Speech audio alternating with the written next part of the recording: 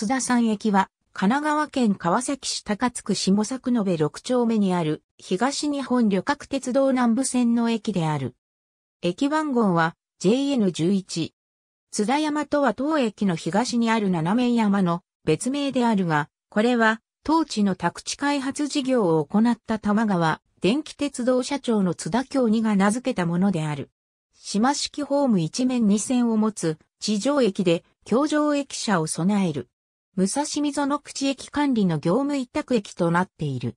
かつては緑の窓口が設置されていたが、2007年6月22日をもって営業を終了した。代替となる指定席券売機は設置されていない。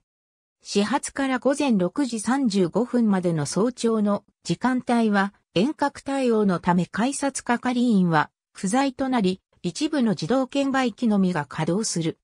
ホームの上屋がホーム長に比較して短く、神奈川県鉄道輸送力増強促進会議は延長を JR に要望している。これに対して JR 側は2014年の時点で計画中の橋上駅化に合わせて整備を行うと回答している。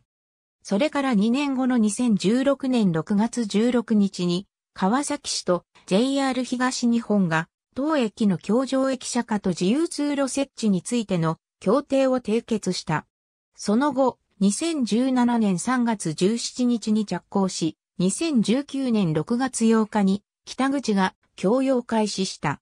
2020年5月22日には南口及び自由通路が供用開始し、南口には仮設通路が使用開始された。2020年度の1日平均乗車人員は2956人であり、南部線の本線の26駅の中では最も少ない。だが、緑が丘霊園の最寄り駅であることから、彼岸及び花見の期間は利用者が増える。近年の推移は、下記の通り、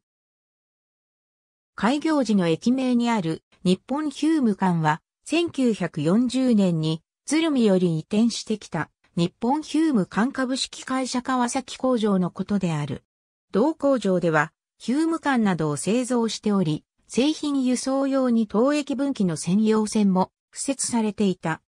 すでに工場は閉鎖されており、跡地東側は川崎市立下作延小学校、西側は同社川崎営業所及び、スノーバ溝の口 R246、マックスバリュー、川崎市、子供夢パークとなっている。